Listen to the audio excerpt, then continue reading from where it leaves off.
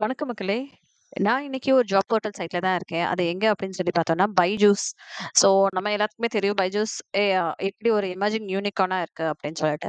So அவங்க வந்து நாலு வேகன்சிஸ்க்கு ரெக்ரூட் பண்றேன் அப்படின்ற மாதிரி சொல்லியிருந்திருக்காங்க. என்னென்ன வேகன்சி அப்படின்னு சொல்லி பார்த்தோம்னா, பிசினஸ் டெவலப்மெண்ட் அசோசியேட் அப்படின்ற ஒரு வேலைக்கு, அப்புறம் ஸ்டூடண்ட் சக்சஸ் ஸ்பெஷலிஸ்ட், அதுக்கப்புறம் அகாடமிஷியன் ஸ்பெஷலிஸ்ட் அதாவது நம்ம மேக்ஸ் டீச்சருக்கு டெவலப் ரெக்ரூட் பண்ணிட்டு இருக்காங்க. அப்புறம் பிசினஸ் டெவலப்மெண்ட் அசோசியேட் இந்த மாதிரி நாலு ஓப்பனிங்ஸ் இருக்கு. இந்த ஓப்பனிங் எல்லாத்துக்கும் business development அசோசியேட்டுக்கு zero to three years experience இருந்தா போதும் அப்படின்றாங்க. இல்ல எக்ஸ்பீரியன்ஸே இல்ல நீங்க ஃப்ரெஷரா இருந்தாலும் அப்ளை பண்ணலாம் அப்படின்னு சொல்லி சொல்லியிருந்திருக்காங்க. ஃபர்தரா இந்த ஜாபை பத்தி பார்த்தோம் அப்படின்னா, இது ரொம்ப இன்ட்ரெஸ்டிங்காக இருக்கு. என்ன அப்படின்னு சொல்லி பார்த்தோம்னா, இவங்க வந்து ஒரு ட்ரைனிங் மாதிரி கொடுக்குறாங்க so six weeks of training programme மாதிரி கொடுக்குறாங்க ஸோ இந்த six weeks of training programme முடிச்ச பிறகு தான் அந்த செலக்ட் ஆனவங்களுக்கு ஒரு பிசினஸ் டெவலப்மெண்ட் அசோசியேட்டிவா நாங்கள் உங்களை ரெக்ரூட் பண்றோம் அப்படின்றாங்க.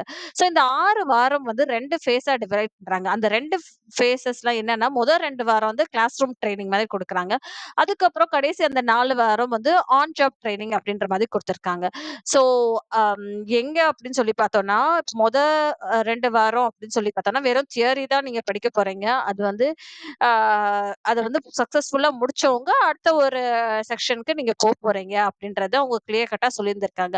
அவங்க சொல்ற அந்த ட்ரைனிங் லொக்கேஷனுக்கு நீங்க போய் அங்க போய் தியரட்டிக்கலா ட்ரைனிங் அட்டன் பண்ற மாதிரி இருக்கும். அதே மாதிரி ஃபேஸ் டூ அதாவது கடைசி ஒரு 4 4 வாரம் இருக்கு இல்லையா? அந்த நாலு வாரம்ல என்ன பண்றாங்க அப்படின்னு சொல்லி பார்த்தோம்னா, கேண்டிடேட்ஸ் வந்து அ தியரட்டிக்கல் அப்ளை பண்ணி நிறைய விஷயங்கள் பிராக்டிகலா எப்படி நம்ம வந்து சேல்ஸை ஜென்ரேட் பண்ணுறோம் எப்படி வந்து சேல்ஸை கொண்டு வரோம் அப்படின்றது தான் அவங்க வந்து அந்த இடத்துல லேர்ன் பண்ணிக்க போகிறாங்க ஸோ இது லேர்னிங் ப்ராசஸ் மட்டும் இல்லாமல் என்ன பண்ணுறாங்க அவங்க அப்படின்னு சொல்லி பார்த்தோன்னா அவங்க வந்து இதை கிளியர் பண்ணவங்களுக்கு கிட்டத்தட்ட வந்து முப்பத்தி ஏழாயிரத்து ஐநூறுரூவா வெறும் ஸ்டைஃபனாக கொடுக்குறாங்க ஆறு வாரத்துக்கு. இந்த ஒரு ட்ரைனிங் ப்ரோக்ராம் அட்டன் பண்ணாலே முப்பத்தி ஏழாயிரத்தி ஐநூறுரூவா அப்படின்ற மாதிரி அவங்க சொல்லியிருந்திருக்காங்க. இது போக இந்த ட்ரைனிங்கை வந்து நீங்க சக்சஸ்ஃபுல்லா கம்ப்ளீட் பண்ணிட்டீங்க. நீங்க ஜாயின் பண்றீங்க. நீங்க வந்து அவங்களுடைய சாட்டிஸ்ஃபேக்ஷன் எல்லாத்தையும் நீங்க பூர்த்தி பண்ணிட்டீங்க அப்படின்னு சொல்லினா, உங்களுக்கு வந்து செவன் லேக்ஸா ஃபிக்ஸடா நாங்க கொடுத்துருவோம் ஒரு வருஷத்துக்கு அப்படின்னா பத்து லட்சம் வரைக்கும் நாங்க கொடுப்போம் உங்களுக்கு அப்படின்ற மாதிரி சொல்லியிருந்திருக்காங்க. அதுல வந்து செவன் லேக்ஸ் ஃபிக்ஸடா மூணு லேக் மிச்சம் இருக்க மூணு லட்சம் வந்து வேரி ஆகலாம் அப்படின்ற மாதிரி சொல்லியிருந்திருக்காங்க. ஸோ நீங்க யோசிச்சு பாருங்களேன். ஜீரோ இயர்ஸ் எக்ஸ்பீரியன்ஸ் உள்ள கேண்டிடேட் ரூ. 10,00,000 மாசத்துக்கு சம்பா சாரி வருஷத்துக்கு சம்பாதிக்கலாம் அப்படின்னா, அது எவ்வளோ பெரிய ஒரு ஜாப் ஆப்பர்ச்சுனிட்டியா இருக்கு. பத்தாத குறைக்கு நீங்க ஆறு வாரம் ட்ரைனிங் அட்டன் பண்ணாலே முப்பத்தி ஏழாயிரத்தி ஐநூறுரூவா இது வந்து ஒரு செம்ம ஆப்பர்ச்சுனிட்டி தான் நான் சொல்ல முடியும். ஸோ நீங்கள் என்ன பண்ண போறீங்க இந்த வேலைலாம் ஜஸ்ட் சேல்ஸ் தாங்க பண்ண போறீங்க. நீங்கள் அந்த ப்ராசஸை முடிச்சுட்டீங்க. நீங்கள் வந்து கற்றுக்கிட்டீங்க அப்படின்னு சொல்லி பார்த்தீங்கன்னா, சேல்ஸை கொண்டு வர போகிறீங்க அவனுக்கு வந்து அவனுடைய இருக்குல்லையா அந்த ஹோம் டியூட்டரிங் இந்த மாதிரி நிறையா இருக்குல்ல. ஸோ அது வந்து சேல்ஸை வந்து நீங்கள் கொண்டு வரணும் அப்படின்றது மட்டும் தான் எக்ஸ்பெக்டேஷன்ஸாக இருந்துகிட்ருக்கு மற்றபடி அவங்க வேற எதுவுமே வந்து கொடுக்கலங்க அதுக்கப்புறம் அடுத்த ஒரு ஜாப் ஆப்பர்ச்சுனிட்டி இந்த மேலே வந்து அப்ளை பட்டன் அப்படின்னு சொல்லி இருக்கு இல்லையா? ஸோ இங்கே பக்கத்துலேயே அப்ளை பட்டன் இருக்குது இதை வந்து நீங்கள் அப்ளை அப்படின்னு சொல்லி கிளிக் பண்ணாலே வேறு ஒரு பேஜுக்கு தான் வந்து உங்களை எடுத்துகிட்டு போகும்.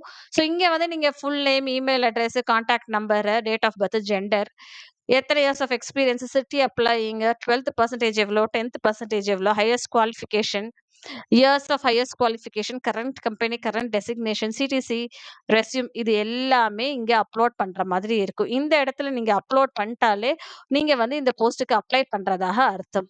சரிங்களா? நான் இதோட லிங்க்கையுமே கீழே ஷேர் பண்ணுற டிஸ்கிரிப்ஷன் பாக்ஸில் தவறாமல் போய் பாருங்க. அது போக செகண்ட் என்ன ஆப்பர்ச்சுனிட்டி அப்படின்னு சொல்லி பார்த்தோன்னா ஸ்டூடெண்ட் சக்ஸஸ் ஸ்பெஷலிஸ்ட் அப்படின்ற மாதிரி சொல்லியிருந்திருக்காங்க. இது யார் அப்படின்னு சொல்லி பாருங்கன்னா கஸ்டமர்ஸ் யார் அப்படின்னு சொல்லி பார்த்தீங்கன்னா, இந்த வந்து ஆறு டு பதினேழு வயசுல இருக்கிற வந்து தான் நமக்கு இங்கே கஸ்டமராக இருக்காங்க. அதாவது ஸ்டூடெண்ட்ஸை தான் நமக்கு கஸ்டமராக இருக்க போகிறாங்க அது ஸ்டூடெண்ட்ஸோட அம்மா, அப்பா அவங்களுமே நம்ம கஸ்டமராக இருக்காங்க. அவங்க வந்து இப்போ ஸ்டூடெண்ட்ஸ் வந்து ஏதாவது ஒரு பிரச்சனை கேட்குறாங்க அப்படின்னு சொல்லி பார்த்தோன்னா அதை வந்து அவங்க அவங்க அவங்ககிட்ட இருந்து அதை வந்து நல்லா பொறுமையா, நிதானமா பேசி அவங்ககிட்ட இருந்து அந்த ப்ராப்ளத்தை வாங்கி, அதை வந்து எப்படி சார்ட் அவுட் பண்ணலாம் அப்படின்றது சொல்ல சொல்ல போறோம் அந்த ஸ்டூடெண்ட்ஸ் கிட்ட. அதுதான் வேலை அது போக நல்லபடியா இன்ட்ராக்ட் பண்ண தெரிஞ்சிருக்கணும். ஸ்டூடெண்ட்ஸை வந்து காயப்படுத்தாம, இல்ல அவங்களுடைய அம்மா, அப்பாவை சொல்ற குவெரீஸ இதெல்லாம் காயப்படுத்தாம நீங்க அதை வந்து கேட்டு தெரிஞ்சு அவங்களுக்கு சப்போர்ட்டிவா இருந்தாலே போதும் அப்படின்ற மாதிரி சொல்லியிருந்திருக்காங்க.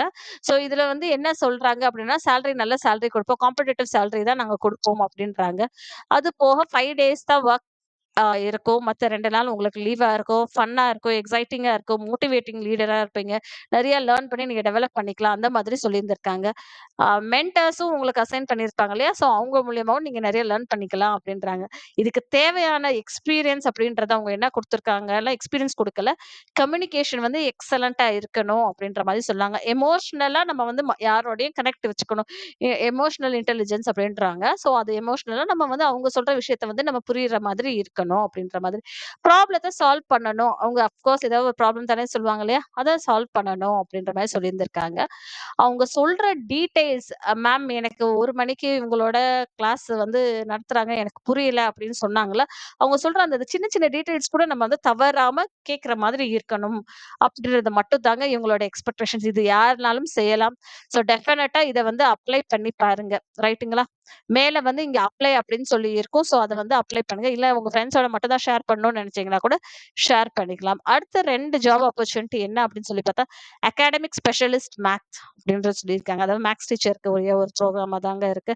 ஸோ நீங்க ஒரு மேத்ஸ் டீச்சரா இருக்கீங்க அப்படின்னு சொல்லி பார்த்தீங்கன்னா, தைரியமா one 1 two 2 years of experience உங்ககிட்ட இருந்ததுன்னா, இதுல போய் நீங்க ஃபில் இன் பண்ணி அப்ளை பண்ணி குடுத்து பாருங்க.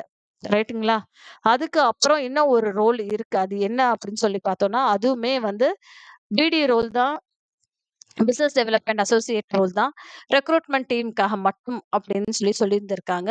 ஸோ இதுலேயுமே ஒரு ஃபார்ம் இருக்கு. இந்த ஃபார்மை நீங்க ஃபில் பண்ற மாதிரி தான் இருக்கும் மக்களே. ஸோ இதுதான் நான் இன்னைக்கு உங்க கூட ஷேர் பண்ணிக்கிட்ட ஒரு ஜாப் ப்ரொஃபைலா இருக்கும். ஸோ டெய்லி இந்த மாதிரி ஒரு ரெண்டு வேகன்சிஸ் எங்க எங்க அவைலபிளா இருக்கு அப்படின்றது நான் உங்க கூட ரெகுலரா ஷேர் பண்ணிக்கிட்டே இருப்பேன். மறக்காம என்னோட சேனலை சப்ஸ்கிரைப் பண்ணிருங்க. நன்றி மக்களே.